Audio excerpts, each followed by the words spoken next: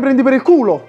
Che ieri ho parlato e non mi hai detto niente che al giudice hai mandato quella relazione di merda. Ma chi sei tu pomeriggio? Tu sei un povero uomo che te ne invidia. Pa, A felicitella. Rosa poi lei dica tu, a Rosa poi che è fatta la zoccola, quello che si è. La zoccola. È la zoccola, la zoccola. Eh, no, signora, chiudete sto balcone, sto sipario qua che dove, dove... Mamma mia. Ah, allora è vero che le stava guardando le tette, eh? Sì, sì, anche il culo, anche il culo. Sapete che pure mia mamma si chiamava Cecilia?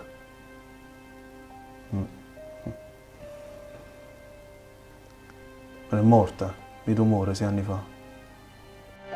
Non pensare che il mio lavoro sia tanto diverso dal tuo. No. Anche voi prendete pezzi di verità e con quelli pretendete di spedire le persone all'ergastolo. Ritornò a telefonarmi a- al negozio perché sapeva che mia madre mi controllava il cellulare, ma io non l'ho più rivisto. E la vogliono se mi miezzo. Non la voleva Ciro. Gli voleva indicare sulla frate ma Ciro. Poi me l'hai detto anche tu, no? Davvero? Sì. E ti dà fastidio? Un po', sì, sì. Perché?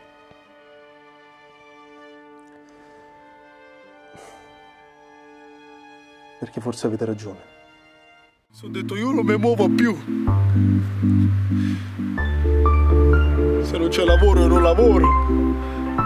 Se lavoro mi deve far diventare matto che mi prendo la calcio in culo io non lavoro più. Io voglio straiarmi. Una buona volta, voglio spiegarmi, voglio, voglio parlare, voglio l'erba.